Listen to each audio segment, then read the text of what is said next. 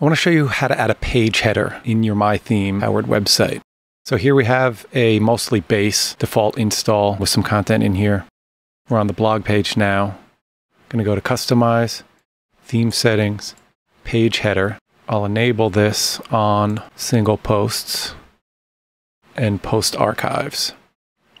Here we have a default image set. We could remove it and just use a solid color. But let's set an image so we can show you some other cool features there.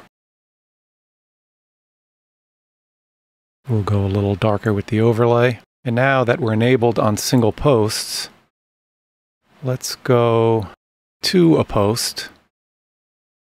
And now if we go to our single content settings, single post settings, because the page header is enabled, we have some extra page header settings. So now for single posts, we can set a default image for all single posts to fall back to. We can also use the featured image as the page header image, which is really powerful. And now if you have the image in the page header, but you don't want it displaying here, you just remove it. You can pick any color you want. And this is just for post now. It's overriding the default. You can see how many different layout options and customization ability there is here. Let's go back to the blog, go back to the page header settings. You can see here there's some vertical spacing. This is viewport widths, but you can use any unit value as it says here. If we want something small, we want it tighter to the bottom. We want it huge. Viewport widths is a great unit because it scales as you get down to mobile. It's not as huge. It's relative to the width of the device that you're on. And if we enable pages, You have the same customization here. Now we have settings just for pages with defaults and use featured image and opacity. This is the text color if you were to use a light image and you wanted it dark. If you leave it default, then the theme tries to choose the best given the settings. There are tons of configuration options, all easy to use.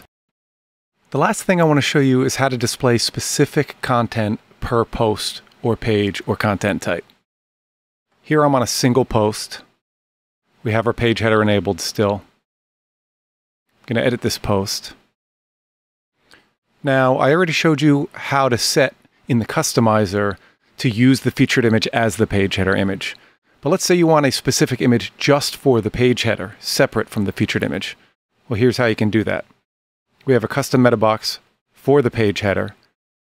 And if you add an image, and update, you can see here our new image is used as the page header image, separate from the featured image. Let's go back to edit this post. I want to show you the description field we have as well. I'm going to add a custom description, save that, I'm going to view our post, and here you can see we have a custom page header description. It's that easy.